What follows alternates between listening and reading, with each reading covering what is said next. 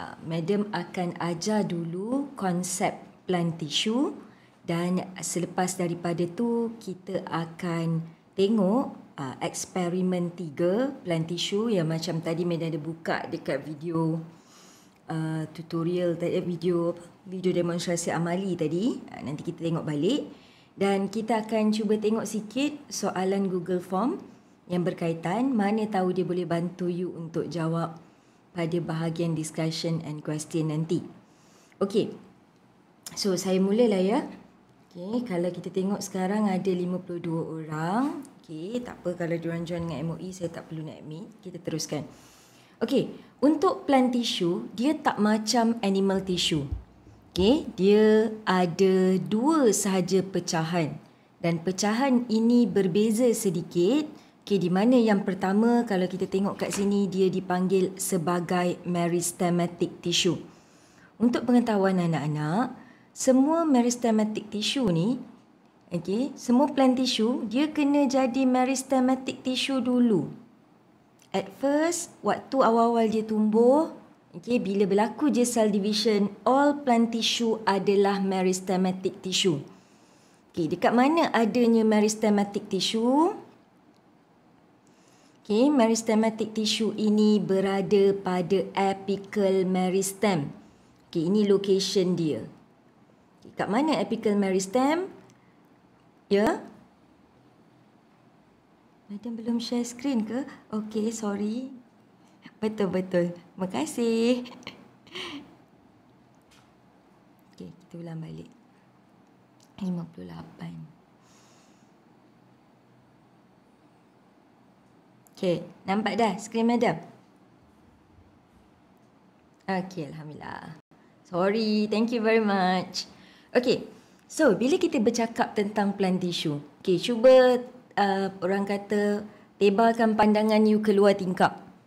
Apakah plant tissue yang you boleh nampak daripada luar tingkap rumah you?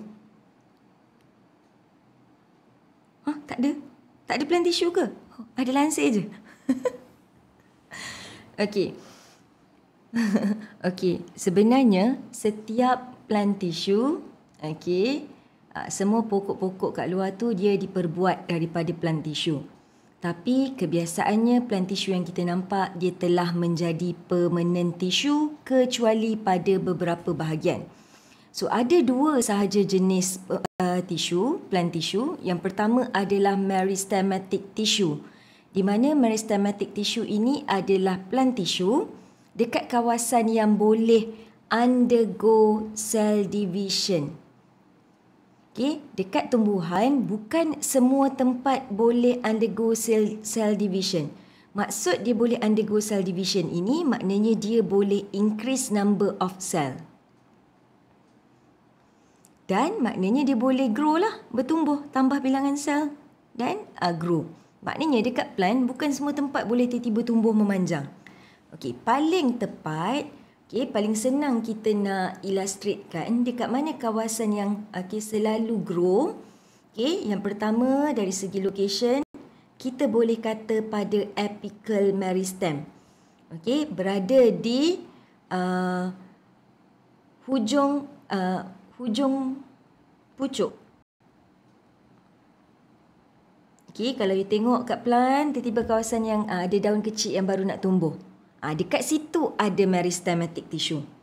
Okey, ataupun hujung akar.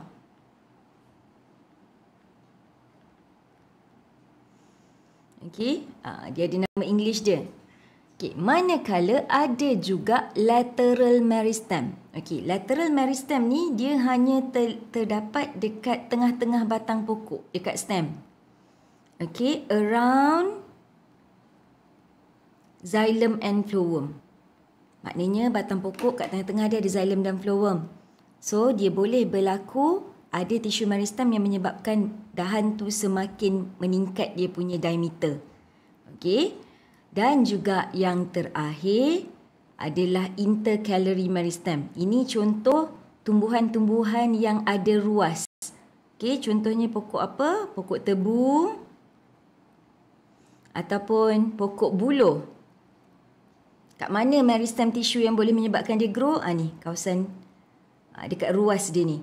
Uh, so dia boleh memanjang ataupun grow ke atas dan ke bawah. So you boleh perhatikan kalau ada pokok-pokok ni dekat dengan rumah you. Okay, katalah pokok buluh tu baru tumbuh. Dia punya ruas macam kat jari you ni uh, kecil. Tapi makin lama tiba-tiba ruas tu akan jadi semakin besar. Uh, sebab dekat kawasan ini sahaja pada semua tumbuhan boleh berlakunya cell division dan dia boleh grow ataupun tumbuh. Okey, selepas dah ada sel meristem ni, dia dah ada banyak dekat kawasan hujung. Okey, nanti akan tumbuh lagi yang baru. So, sel yang pada bahagian bawah yang bukan dah meristem itu akan bertukar menjadi permanent tissue. Tisu kekal. Tisu yang orang kata kalau badan kita muscle kita, daging kita. Kalau dekat plant, kita panggil dia punya cortex. Uh, dia punya uh, yang membina plant tu lah. Okay, dan jenis-jenis tisu yang ada di situ, ini yang kita nak belajar hari ini dipanggil sebagai permanent tissue. So, kalau you tengok ciri permanent tissue ni, matched cell. Okay, so dia adalah matched cell. Dan kalau meristem tadi boleh capable, boleh buat cell division, matched cell ini incapable for cell division maknanya dah tak berlaku pertambahan bilangan sel. Okay, so apa yang berlaku pada dia? Okay, so dia akan just enlarge. Okay, berlaku cell enlargement. Sel tu akan tambah dia punya cytoplasm, uh, dia punya bahan-bahan dalam sel macam organel dan seterusnya apa yang akan berlaku pada dia, dia akan berlaku cell differentiation. Tadi dia adalah sel yang sama. Okey? Ha, so maknanya dia adalah sel yang sama kita panggil meristem. Tapi bila dia dah ke bawah, dia dah jadi permanent tissue, akan berlaku cell enlargement and then follow by cell differentiation.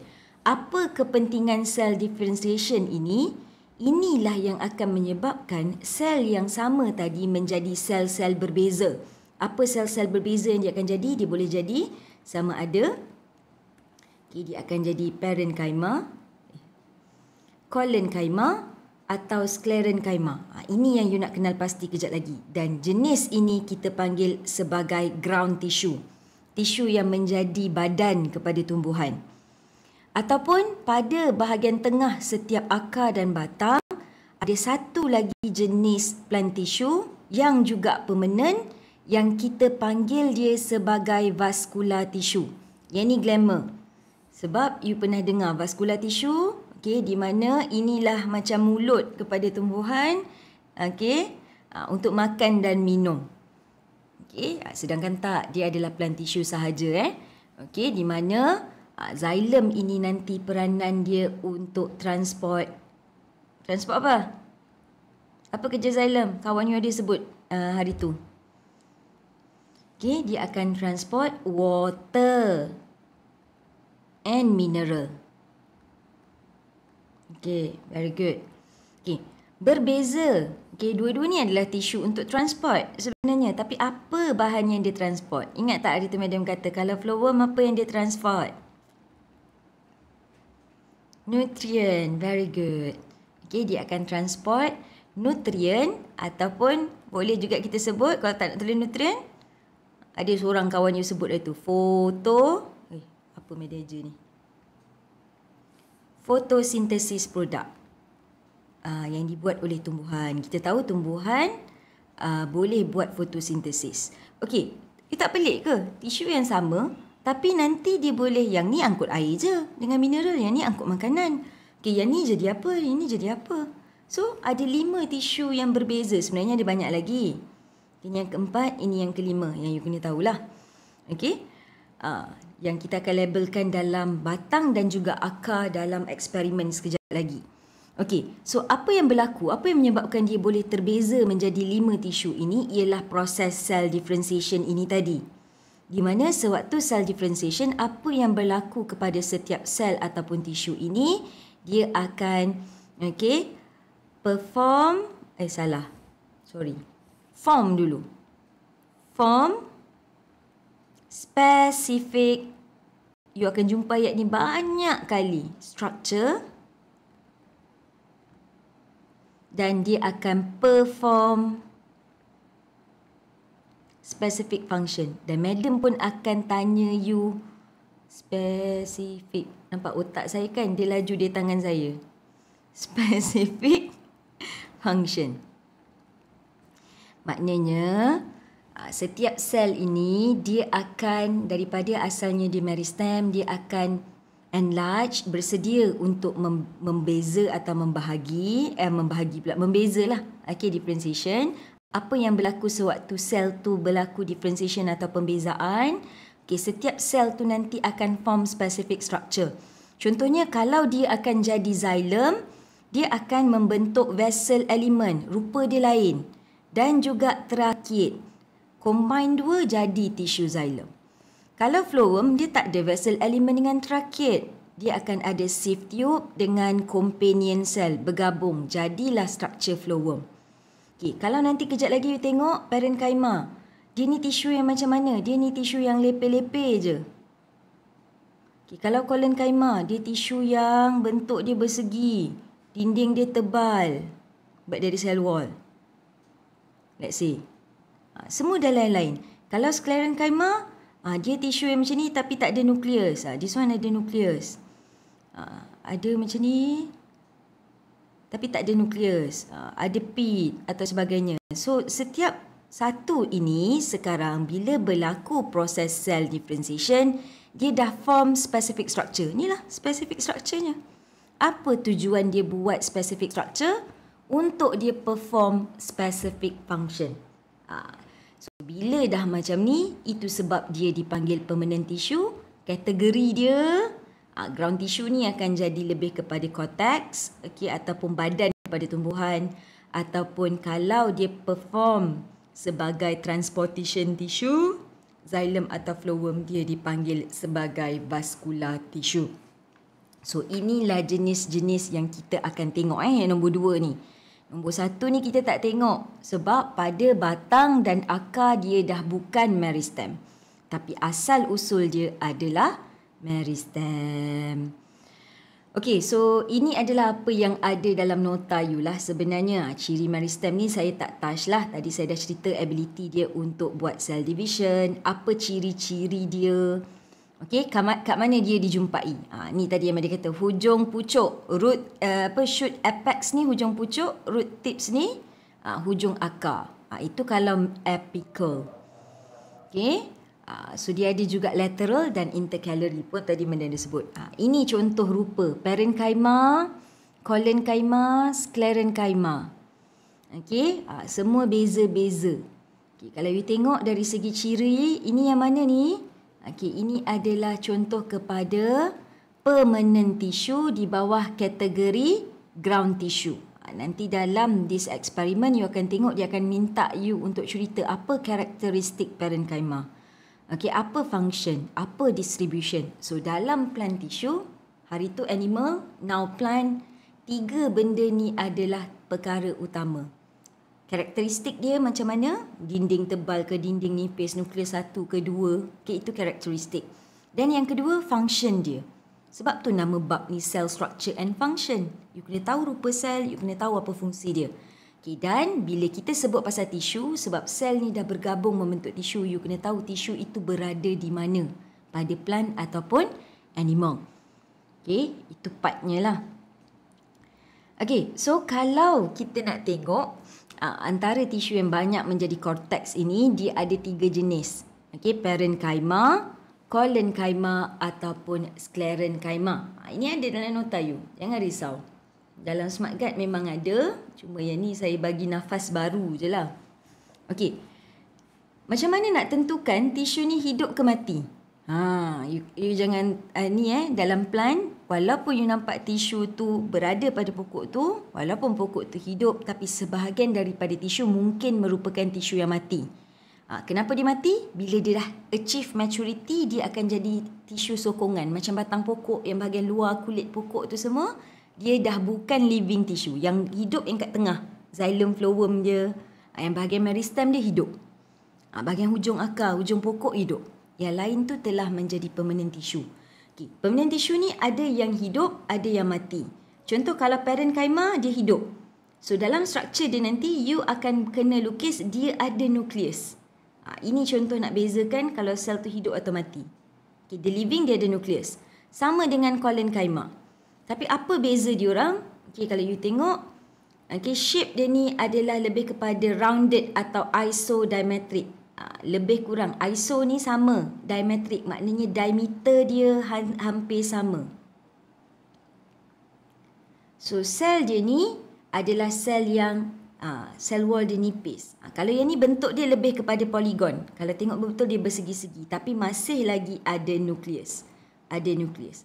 This one bentuk lebih kurang je. Tapi dia dead. So kalau nak kenal dia gambar ni tak nampak. Uh, dia tak ada dah nukleus. Bentuk dia masih lagi poli poligon sama dengan kolenkaima. Okay, apa lagi ciri lain yang kita boleh tengok dari segi susunan sel? Kalau parenchyma ni susunan dia dia kan bentuk tadi bulat. Okey. Tapi sebab dia bulat dan sel wall dia nipis. Okey, antara sel ini akan ada ruang. Ini yang kita kata loosely arranged with intercellular air space. Ada air space. Okey, uh, antara uh, sel nukleus dia. Manakala kalau colon kaima ni tadi bentuk dia poligon. So let's say bentuk dia dah macam ni. So bila dia attach dengan satu lagi so dia attach segi ke segi macam ni. Okay, dan dinding dia tebal sikit. Hujung dia dia akan uh, dekat bucu dia akan lebih tebal. Lebih kurang macam ni lah. Ha, tapi kalau kita lukis, kita akan lukis dinding dia tebal. Yang ni dinding nipis. Dia ada nukleus. Okay, tapi sebab bentuk poligon tadi, dia adalah closely packed. Yang ni loosely arranged ada air space. Yang ni pun sama juga. Sebab dia poligon, dia pun tak ada air space. Dan juga boleh dibezakan dari segi cell wall. Okay, kalau you tengok parenchyma, dia thin primary cell wall without secondary cell wall. Maknanya dinding-dinding nipis-nipis dan dia tak akan grow further. Tak ada secondary growth. Kalau collenchyma pun, okay, tak ada secondary growth. Okay, so dia tak akan jadi tisu yang keras macam kulit kayu semua. Tapi, ha, dia thicker primary cell wall and even thicker at the corner. Dekat ujung corner ni, dulu kita tak lawa ni. Okay, lebih tebal. Ha, kalau this one, cell wall consists primary cell wall and secondary cell wall yang thicken uniformly and lignify. Lignify inilah yang menyebabkan uh, apa? Orang kata kulit pokok ataupun kita kata kalau biji kan sekarang ni musim rambutan kalau kat sini. Rambutan kan ada dekat biji dia tu ada macam kayu-kayu tu. Ha, yang keras tu ha, kat situ adanya tisu sclerenchyma yang merupakan dead tissue dulu dia hidup now dia dead. Ha, dan dia keras. Disebabkan apa? Dia ada secondary cell wall. Kalau yang primary cell wall ni dia tak tebal. Dia tak keras walaupun dia tebal okey dia biasanya menjadi tisu sokongan lah. Ini part-part ini dikira structure. Ha, saja je nak bagi faham structure tu. Okey kalau phloem pula okey dengan xylem. Okey ha, kalau ni ni sieve tube ini companion cell. Ha, ini terakit ini vessel element. Combine susun rapat-rapat nampak? Kalau ni vessel terakit yang kecil-kecil. Combine sama-sama barulah dia membentuk tisu xylem. Okay this one ha, yang jadi saluran ni ha, kita panggil sel sel apa kalau you belajar dulu sieve tube panggil apa ha, ni sel rakan yang saya tahu dalam bahasa Melayunya okay sieve tube apa dalam bahasa Melayu tak pernah ingat lah sieve tube selalu apa Selalu kawan tu yang companion. Kalau sieve tube? Oh, sel pengawal. Okey, sel pengawal dengan sel rakan. Ha, Okey, so sekarang kalau ni, ini sieve tube. Ha, yang sel yang ada nukleus ini adalah dia punya companion cell, sel rakan. Ha, so, dia ada dua komponen. Baru terbentuknya phloem. Okey, ha, manakala kalau trakit dengan vessel element ni nampak? Trakit yang kecil-kecil ni satu, vessel element ha, yang besar ni. Ha, kerja dia, ha, inilah ciri dia non-living, thick apa semua. Ini karakteristik. Ha, fungsi this one. Okay. kalaulah xylem dengan flowem, kat mana distribution dia? Ya, ini yang kita nak tengok dalam eksperimen ni. Xylem dan flowem ini kategori dia dia akan hanya dijumpai dekat tisu jenis apa? Ha, vascular tissue. Kalau parenchyma, collenchyma, sclerenchyma dia berada di ground tissue. Ha, itu yang you kena tahu. So vascular lah kalau untuk xylem dan flowem ini. Okey, so ada tak soalan dulu yang ni ada dalam nota akan bantu you untuk jawab part discussion dan juga uh, question and answer vascular tissue. Okay, now let's us look at experiment. Okay, eksperimen minggu ni pasal tumbuhan. Okay, kejap lagi pergilah luar cari pokok mak you. Okay, carilah pokok yang ada kat luar. Okay, pokok ni ada tiga bahagian utama. Okay, apa tiga bahagian utama pokok? Biasanya yang kita biasa identify dia ada banyak lagi sebenarnya. Tapi yang paling common, kita akan nampak dia punya leaf. Okay. Ah, dahan ke ranting ni kita panggil stem. Apa satu lagi yang penting pada tumbuhan? One more. Apa? Akar pandai. Okay, root. Okay. So, untuk hari ni, uh, daun ni yang ada you dulu belajar mesophyll phalisa, spongy mesophyll, okay, uh, baru ada xylem dan phloem, kita takkan tengok. Sebab semua part ini ada uh, kita panggil parenchyma, collenchyma, sclerenchyma, taburannya dan ada juga vascular tissue, xylem and phloem pada semua tiga-tiga part. Okay, tapi yang kita nak tengok closely hari ni adalah pada structure batang, dan akar dan kita akan tengok dalam dua jenis tumbuhan. Apa dua jenis tumbuhan utama yang you belajar waktu sekolah dulu? Two type of plant. Okay? Yang dia punya cotyledon ada satu, cotyledon ada dua. Okay? Apa dia? Contohnya. Apa nama tumbuhan yang ada satu cotyledon, dua cotyledon? Apa tu? Eh, bukan. Apa nama jenis tumbuhan tu? Ha, lepas tu baru example dia. Okay, monocotyledon. Kita panggil monocot je. Okay, betul lah panjangnya.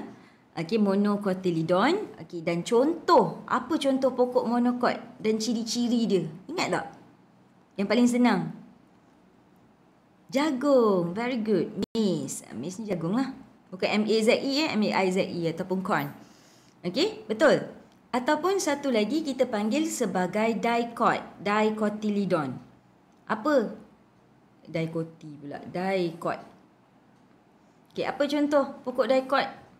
Pokok dicot ni banyak sebenarnya. Apa-apa je pokok-pokok besar yang daun dia urat dia network ataupun apa orang kata jejala. Okey, ha, kalau plant monocot ni dia urat daun dia adalah selari kan macam rumput. Okey dan dia tak hidup untuk tempoh masa yang panjang. Kalau pokok durian, dia pokok dicot ke monocot lah? Ha, biar betul. Durian, durian. Ah, sudah. Durian eh, dicot. Betul eh? Madam, madam call cikgu sign korang kat sekolah ni kang.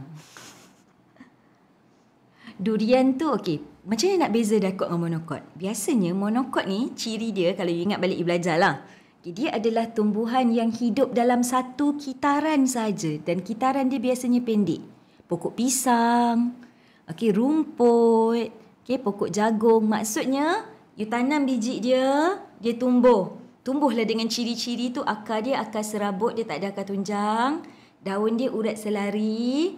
Okay. Dan bila dia dah tumbuh daun, dia berbunga, dia berbuah. Lepas dia berbuah, you petik buah dia, dia tak akan terus berbuah lagi, berbuah lagi dia akan mati. You kena tanam yang baru. Itu monokot. Kalau dicot ni macam pokok pelam, pokok rambutan, pokok durian. Awal-awal you tanam memanglah dia tak berbuah-buah. Sampai tempoh matang, dia tak ulang balik daripada biji benih, uh, keluar batang, keluar daun, bunga. Okay, dia akan terus continue berbunga, berbuah. Dalam satu season dia. Next, continue. Dan dia biasa akan ada batang yang berkayu besar. Akar dia pun akar tunjang. Ha, itu adalah contoh pokok dicot. Jadi berdasarkan penerangan madam, pokok durian adalah daikon. Selain pokok durian, apa pokok yang korang tahu kat rumah korang tu yang merupakan daikon? Pokok pelam, betul? Pelam. Tiba-tiba tulis pelam kat sini. Okey. Apa tu? Tak dengar. Durian Belanda, betul. Okey. Ha, kalau pokok pisang di monokot. Okey, sebab tu ada peribahasa jangan biarkan pisang ah ha, berbuah dua kali. Pandai orang Melayu. Sebab apa? Konsep dia ialah pokok pisang adalah monokot. Ha, so, eh madam saya tengok dekat pokok pisang saya tu, dia dah berbuah tiba-tiba dia berbuah balik. Ha, cuba tengok betul-betul perhatikan betul-betul. Sebenarnya itu mungkin anak pisang yang lain daripada dia punya bahagian roots dia tu dia boleh macam ada apa orang kata vegetative propagation dia. Ha, dia tumbuh pokok baru sebenarnya bukan pokok yang sama berbuah dua kali. Tidak mungkin. Okay? Alright. Tapi seronok sebenarnya kadang-kadang macam kita tahu dalam real life. Macam contoh pokok pisang kan. Okay. Pisang sebelum ada buah dia mesti ada bunga. So you pernah tengok bunga pisang? Ha. Pandai. Laju sangat. Madam baru nak usik kawan-kawan yang tak tahu. Okay, siapa yang sebenarnya tak tahu yang sebenarnya bunga kepada pisang adalah jantung pisang? Ke semua orang tahu? Oh, bagus. Semua tahu eh? Okay. Kalau jagung, yang mana bunga dia? Saja, madam. Jagung. Ha, jagung yang mana? Okay, perasan tak kalau you beli jagung, eh, pernah tak beli dah rebus sendiri ke beli yang dah siap-siap, dah dah siap panggang? Masa you kopek tu, yang rambut-rambut tu, ah, setiap satu tu adalah satu bunga dia. Dia boleh ada male ataupun female. Ha, kalau dia berlaku mating antara dia punya male and female structure dia, barulah boleh jadi. Buah jagung sebenarnya bukan satu tongkol tu. Setiap satu ulas tu adalah buah jagung. Ha, unik tau. So ni nanti kita akan belajar. Maknanya you makan tu setongkol jagung tu ada banyak buah. Ha, sama dengan pisang. Jantung tu, dari bunga daripada jantung kelopak pisang tu, mana yang membesar, jadilah satu, apa satu, bukan satu sisir. Satu sisir tu dah macam a cluster of flower. Ha, setiap satu bunga tu akan jadi satu pisang. Ha, seronoklah sebenarnya belajar benda ni bila kita tahu. Okay, apa yang you kena buat hari ni? Hari ni diskaun. Minggu lepas lukis berapa?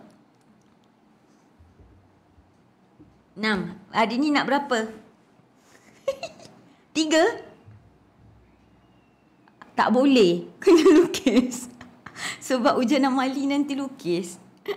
Okey. Uh, inilah penyakit bio. Okay, yang madam kata macam janji madam nak cerita. Kalau dekat universiti kan, you punya sesi amali 3 jam tau. Sekarang ni 2 jam. Kat sini biasa saya tak buat sampai 2 jam lah. Saya biasanya akan buat sejam atau sejam lebih sikit. Okay. Uh, kalau dekat universiti, sesi bio, ni bukan nak takut-takutkan suka, uh, supaya tak ambil bio. Okay, bio ni best. Okay, tapi lab dia jenis, contohlah kita kena belajar tentang, uh, minggu lepas kita belajar animal tissue kan. So let's say, Minggu lepas you all enam je. Madam dah siap-siap bagi gambar. Dalam lab sebenar Mungkin dalam masa tiga jam You akan kena tengok dua puluh slide Animal tissue. Okay Kalau tengok je tak apa. Okay dia akan letak. Mikroskop ni bukan satu orang Satu mikroskop tak. Tiga puluh tu Katalah dua puluh tu Dah ada dua puluh mikroskop Dah ada slide. So You akan hanya ada beberapa minit saja untuk tengok sebab satu lab tu ialah dalam 30 orang kan let's say ataupun 25 orang. So you kena take turn untuk tengok tu. Dan you kena siapkan lukis within 3 jam tu you kena terus submit.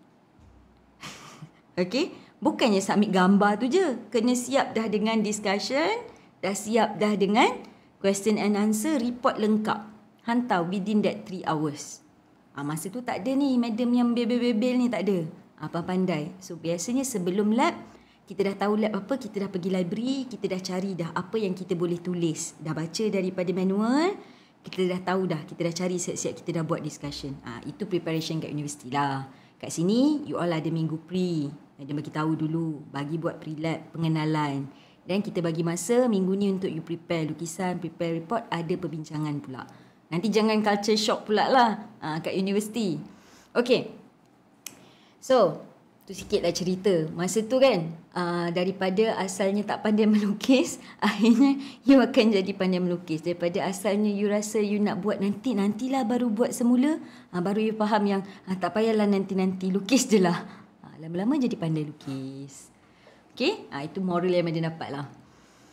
So dalam plan tissue ada dua sahaja learning outcome dan diskaun kali ni daripada enam you discount tinggal dua salah tinggal empat sahaja gambar. Okey, sebab kita ada dua jenis uh, tumbuhan. Setiap tumbuhan ni you boleh pilih sama ada you suka nak lukis batang ala-ala macam ni ataupun you nak lukis root. Ha, tu dua je kan? Ha, tapi you kena ingat setiap akar dan batang ini okey, ada dua magnification you kena lukis. You nampak keseluruhan batang dalam bentuk bulat Okay, you ada kenal tiga jenis tisu yang Medan akan senaraikan kejap lagi. Dan kita guna lens seterusnya. Lens 40, kita fokus pada bahagian tertentu. Contohnya, kalau under 4 times, you akan nampak macam kek ni, sebiji kek. Okay. Dan you kena tukar menjadi 40x di mana you mungkin akan fokus pada sebahagian je. A piece of cake. Ha, dan tisu ni akan nampak dengan lebih jelas. So dua gambar ini akan ada labeling yang berbeza. So monocot dua, dicot dua. Ha, so tapi cuma boleh pilih sama ada nak stem ataupun nak root. Jangan risau sebab kedua-duanya madam dah ada sediakan contoh gambar dalam ni sebab kita tak dapat buat dalam makmal. So that's why dia punya learning outcome ialah to identify plant tissue under light compound microscope. So apa plant tissue yang kita nak kenal pasti? Ha, yang tadilah sama ada parenchyma ke, collenchyma ke, sclerenchyma, xylem ataupun phloem. Okey. Ah, okey, ha, apa dia kan? Okey, dan ha, type of ground tissue yang mana ground tissue, yang mana vascular tissue. Okey, ini adalah sedikitlah dia punya pengenalan. Kalau you tengok kat sini permanent tissue eh. Kita sekarang nak fokus pada permanent tissue, dia adalah matched cell. Tadi Madden dah bagi pengenalan apa itu uh, permanent tissue yang telah specialize. Okay. Macam mana dia boleh specialize? Specialize ini berlaku disebabkan dia telah melalui fasa apa tadi? Cell differentiation. Pandai. Okay.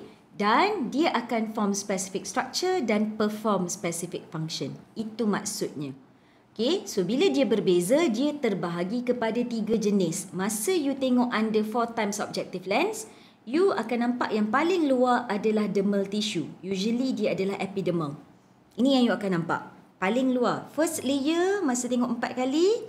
Okay, nampak tak? Sekarang ni, madam highlightkan, you akan tulis epidermis. Dalam gambar empat, ini je tiga label yang kena label. Yang mana epidermis dia? Dalam bentuk sebiji kek tu kan? Ha, bulat kan? Yang mana epidermis? Layer paling luar. Okey, yang kedua, yang mana merupakan dia punya ground tissue. Okey, uh, ground tissue yang you nampak ni nanti bila 40 baru tahu parenchyma ke sclerenchyma, collenchyma atau endodermis. So, ground tissue dalam uh, empat kali ini adalah cortex. Biasanya yang tengah-tengah yang macam cytoplasm tapi dia banyak-banyak bulat-bulat bulat tu. Uh, itu cortex. Dan yang mana merupakan vascular bundle? Madam boleh nampak ke? Boleh. Dia akan nampak macam biji-biji. Okey, ha, biasanya bahagian yang luar adalah phloem yang dalam adalah xylem. Tapi mencabar sikit kalau monocot sebab dia berterabur. Susah nak tentukan. Sekejap kita tengok. So ini label, jangan kata tak ada. Label untuk 4 times. Bila you tengok under 40 times, okay, ni tadi madam kata kalau this one adalah yang dalam bentuk keseluruhan kan. Ha, batang atau akar keseluruhan. Bila 40 times, you punya lukisan dah jadi sebahagian. Sahaja. Ha, tapi kat sini, ha, ini antara lima label yang kena ada. Yang mana parenchyma-nya, collenchyma-nya, dia dah tak ada dah. Epidermis ni maknanya dah lebih spesifik. Ha, mungkin yang paling luar tu dah jadi sclerenchyma ke. Ha, so ini yang membezakan. Ini yang ada dalam kita punya uh, manual. Okey, di mana yang ketiga adalah sama ada dia adalah vascular tissue terdiri daripada xylem atau phloem. So, empat dan lima ni adalah vascular. uh, parenchyma, collenchyma, sclerenchyma ni adalah ground tissue. So benda ni ada kat mana? Kalau you tengok dalam lab manual ada bahagian introduction. Ni Madam dah potong lah. Bahagian apparatus semua saya tak ambil. So, okay, apa yang saya suruh buat ni okay, ialah examine the prepared slide. Okay, prepared slide tak ada tapi kita dah preparekan untuk you dalam bentuk gambar. Okay, any type of plant tissue.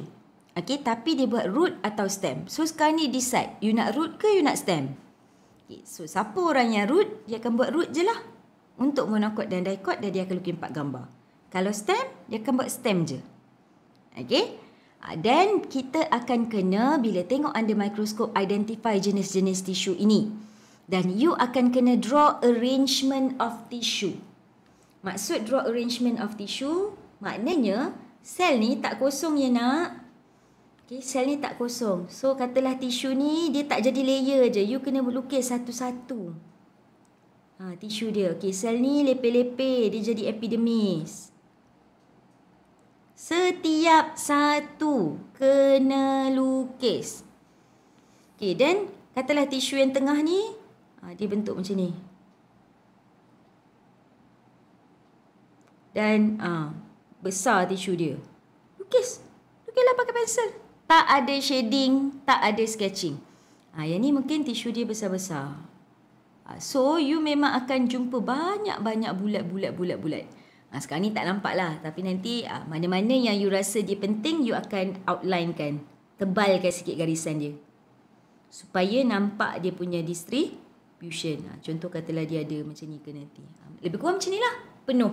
Itu yang kita nak tengok arrangement of tissue. Okay. Dan ingat, setiap tisu-tisu ini anak-anak, dia berbeza dari segi cell size bentuk dia, wall thickness dia. Ingat tak tadi kita kata kalau dia parenchyma, sel wall dia nipis, bentuk dia bulat-bulat.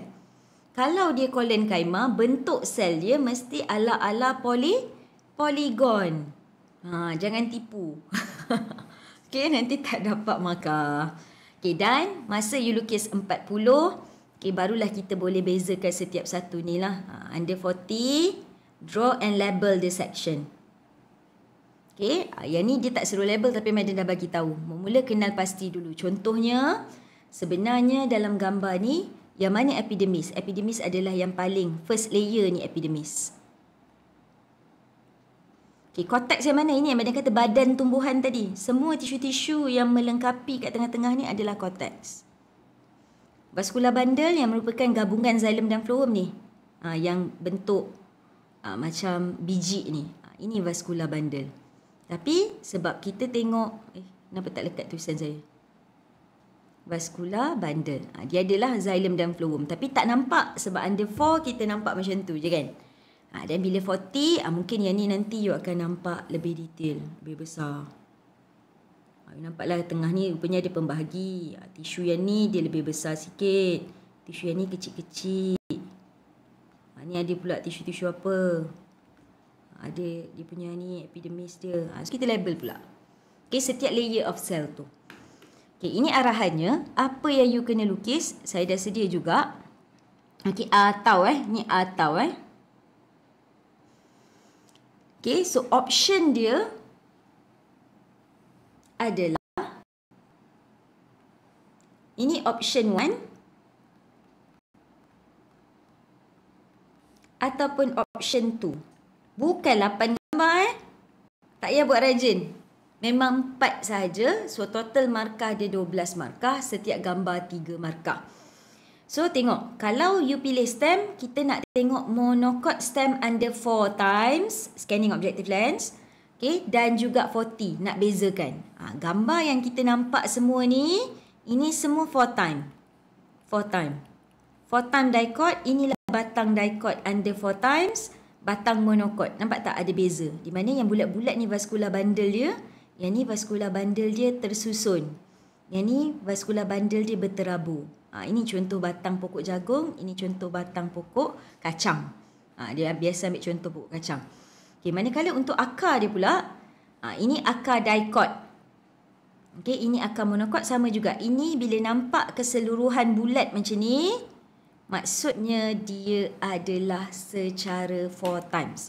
Okay, mana datang bulat ni? Akar kan panjang-panjang, madam. Okay, sebenarnya apa dia buat? Okay, dia buat, katalah akar tu macam ni kan.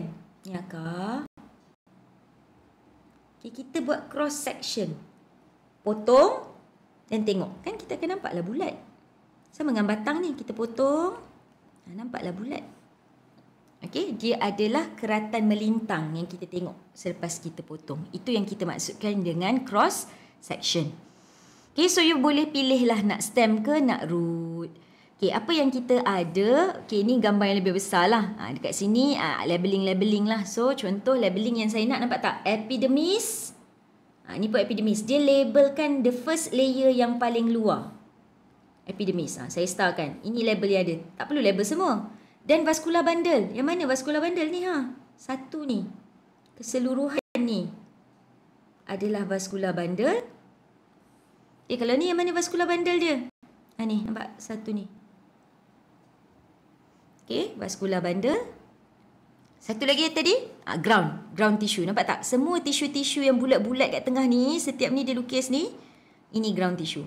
Yang lain-lain ni pengetahuan je. Okay, dia tunjuk pula dekat vaskular ni sebenarnya bahagian luar phloem, yang dalam ni xylem. Ha, yang ni cortex dia mana? Ni lah. Ha, pith uh, cortex dia, tisu-tisu cortex. Ha, yang merupakan ground tissue. So ground tissue ni kita boleh tukarkan jadi cor cortex. Ha, inilah tiga yang nak kena label untuk gambar 4X. Kalau you buat batang. Okay, ini dua gambar. Lagi dua, Ha, yang ni. Ha, ini a piece of cake. Ha, inilah lebih kurang dia ala-alanya. Nampak tak rupa sel tu lain-lain. Dan ha, yang ni sebenarnya dia double layer jugalah. Tapi you bolehlah buat satu garisan je. Okay, sebab dia adalah parenchyma. Ha, nampak ni parenchyma. Dekat bahagian cortex dan juga pith ni. Ha, ni parenchyma tissue warna. Uh, yang ground tissue ni biasanya diperbuat daripada parenchyma. Yang isodiametric tadi. Okay, kat mana ada colon kaima? Bukan kloren eh. Colon kaima yang ni. Layer yang kedua ni. Ha, ni dibuat hydrodermis ni tak payah. Kita buat ini adalah colon kaima. You tak perlulah buat uh, different type ni. Okay. Ha, dan satu lagi scleron kaima. Nampak? Scleron kaima ni tak perlu you buat lah yang dalam ni. Okay, kita nak kena label apa? Hmm. Tak payah. Yang ni kena buat xylem dengan flowworm. Nampak? Yang ni salah satu you label sebagai xylem. Yang ini you label sebagai flowworm. Tak payah meta-meta ni. Ni kalau untuk dicot stem. Eh monocot stem iaitu maize. Ha, so dia berteraburan. Ha, kalau 40 ha, sama juga apa yang kena. Okay, tadi flowworm, xylem, collenchyma, parenchyma, oh sclerenchyma. Ha, ni tisu tracheate dia ni ni sclerenchyma. Tos-tos ni tak payah. Okey, lain-lain tak payah. Ha, ini benda yang kena ada. Dua. Okey, tiga. Empat. Lima. Okey. Ha, ini four times dia. Four times epidermis, ground tissue atau cortex, vascular bundle. Okey, sama juga. Ini adalah, alamak, ini dicot stem ke dicot root? Betul lah stem. Ada bahagian stem tumbuhan kan yang dia ada macam ber, uh, ber, berambut-rambut ataupun dia punya fairy kan. Okay, abaikan yang tu kita nak epidermis, cortex dan juga vascular bundle. Tiga ni untuk four times.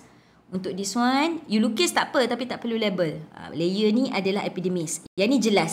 Layer di bawah epidermis biasanya adalah layer collenchyma. Dan kalau you tengok, dinding dia ni lebih tebal. Berbanding kalau kita lukis parenchyma, So maknanya kalau yang kolen kaima, you kena lukis dua kali macam ni lah. Maknanya dinding dia tebal. Okay, yang bahagian kolen kaima. Kalau yang parent kaima ni, kita lukis biasa je. Dan sel dia bentuk bulat-bulat sikit. Yang ni macam polygon sikit. Okay. Contohnya lah. Okay, ni jelas. Xylem bahagian dalam, phloem bahagian uh, luar. Uh, tengah-tengah dia ada cambium. Cambium tu tak payahlah tak nak label pun tak apa. Ha, dia ada layer endodermis tapi kita tak tak letak pun tak apa. Okey, parenchyma, collenchyma. Okey, apa satu lagi? Scleron. Oh, scleron dia dah tak tunjuk kat sini. Okey, ha, tak apa. Ya. Yeah.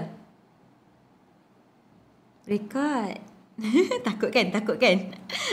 okay. Uh, ada. Meda ada record. Okay. So, you boleh rujuk balik. Uh, gambarnya dah ada. Uh, ini yang penting apa? Jangan guna label. Saya nak carikan gambar yang hanya ada label ni. Tak ada. Sebenarnya dalam manual you pun ada. Okay. Boleh tengok dalam manual juga. Cuma sebab you dah ada manual. Saya nak bawa pula gambar yang berwarna. Menarik lah sikit. Cuma sebenarnya di peringkat universiti memang kita belajar lagi detail lah. Tapi ni madam dah tik-tik part mana yang you kena buat. So inilah empat gambar yang orang buat stem kena buat. Monocot stem 4 times, monocot stem 40 times. Dicot stem 4 times, dicot stem 40 times. Ha, label-label nama title dia dah ada kat slide sebelah ni eh. Ataupun root. Hmm, apa root? Tada tada tada tada. Okey, ha, ni kalau nak tengok ha, yang detail lah. Okey, nampak lagi senang sikit kan. Akar ni dia tak banyak sangat tisu pelik-pelik sebab akar ni dia just nak serap air. Tapi dia masih ada setiap maknanya sepanjang tumbuhan dia ada je empat komponen tu. Okey. Ha, tapi uh, kalau kita tengok yang macam ni Ha, kita nampak macam ni je lah akar. Kalau akar dicot, akar monokot. Akar monokot pula tengah-tengah dia macam ada satu piring macam ni. Kalau tadi macam yang uh, dicot kan yang ada kan. Ha, so yang ni macam ni. Okay. So ini under mikroskop. Apa yang you patut nampak kalau dalam makmal lah. Okay. Ha, so yang ni you just lukis macam ni lah. Okay. Kalau akar you boleh label root hair, cortex. Okay uh, uh, paling luar ni epidermis lah. Epidermis. Uh, tiga lah kan. Epidermis, cortex, uh, vascular. Vascular dia mana yang tengah ni lah. Ni ni, yang ni, xylem dan flowworm ni. Sorry. Sekejap. Nah, ni xylem, vascular bundle dia. Ni yang tengah. Nampak? Ada xylem. Okay, ada flowworm. Flowworm yang warna purple. Xylem yang warna merah ni. Okay, ada cortex. Ada epidermis. Ha, kat sini dia adalah dia punya colon kaima. Ingat, colon kaima selepas epidermis. Nampak shape dia lain. Okay, parent kaima. Cortex ni sebenarnya ada parent kaima. Ha, dia tisu yang menjadi badan kepada tumbuhan. Ni semua parent kaima lah ni. Ha, tengah-tengah ni adalah vascular bundle. Okey, dia terdiri daripada flowworm dan xylem. Lain-lain abaikan. Sama juga dengan this one. Cortex ni adalah parent kaima. Sebab gambar 4 kita label cortex. Okey, gambar 40 kita dah label dia sebagai parent kaima. Okey, epidermis. Ha, bahagian atas ni sebenarnya... Oh, sorry. colon kaima. Okey, xylem, metaxylem yang warna merah. Xylem je. Okey, phloem yang warna purple.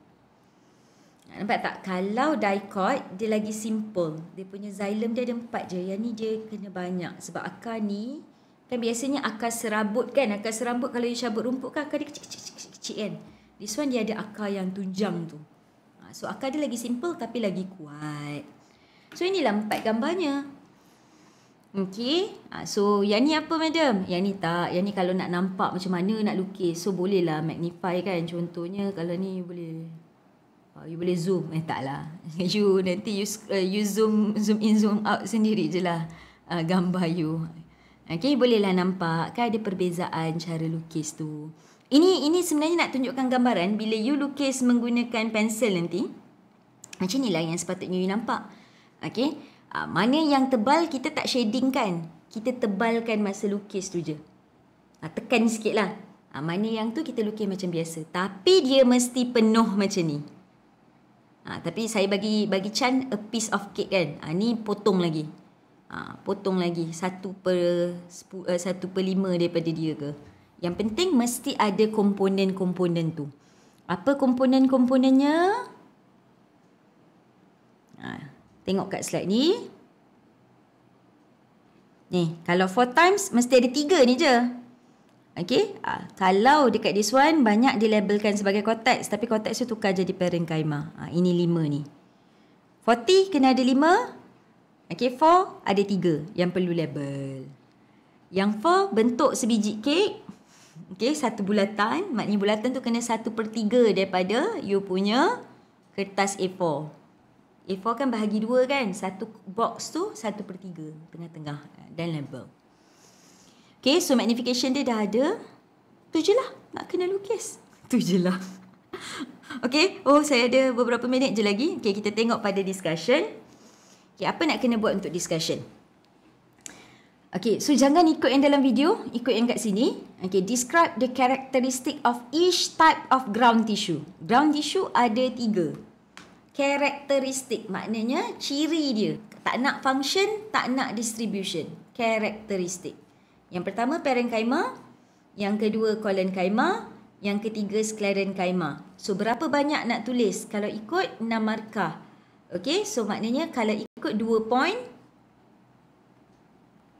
2 point 2 point. Ha, yang mana point-point dia? Kalau dalam table tu tengoklah bentuk dia macam mana. Isodiametric ke, polygon ke, dia dead cell ke, uh, living cell ke uh, cell wall dia nipis ke, cell wall dia thicken at the corner ke, date at maturity, itu semua adalah karakteristik. Okay, so you boleh je nak tulis dalam satu atau dua paragraf. Atau you nak buat tiga pun tak ada masalah. Okay, sebab dia tiga. Parenchyma apa? Jarak satu, collenchyma, sclerenchyma. Itu sahaja untuk part discussion dan dia akan menyumbang enam markah. Dan untuk part soalan yang ni madam bagi you jawab dalam bentuk table. Senang nak tanda. Maknanya table tu macam mana?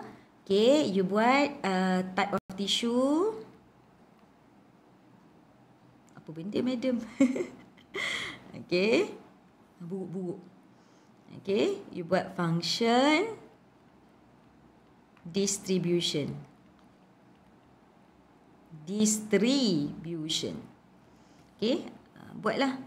Tisu yang pertama apa? Parenchyma. Ada lima ni kan? Hmm, gabungkan pun tak apa dalam satu table saja. Parenchyma. Okey, so total 10 kan? So function satu, distribution satu. Untuk lima-lima tisu ni. Satu, dua, tiga, empat, lima. Jawab dalam bentuk table. Tak perlu buat tak perlu essay. Untuk question, discussion uh, mesti dalam bentuk essay, short, short apa? Short paragraph. Andai. Uh, okay, okay, okay, okay. Sebenarnya kan ujian amali nanti kan kebanyakan pesyarah dia suka lukis plan ni tau berbanding animal. Kalau you, you ingat kita lukis animal tissue dia lagi simple kan. Ha, tapi dia ada technical sikit lah so madam nak tengok drawings you all. So untuk conclusion, okay, kalau kita refer balik kepada learning outcome kita tadi eh. Hmm, mana slide learning outcome. Okay. So kalau kita tengok balik learning outcome, identify the plant tissue under light compound microscope. So apa plant tissue yang kita dapat identify secara general? Okay, general yang macam epidermis, cortex, okay, vascular bundle.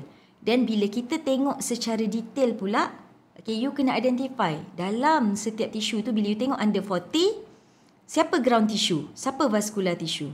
Uh, that's why uh, apa yang kita boleh conclude, uh, cik, dah bagi dah bagi jawapan dah untuk conclusion.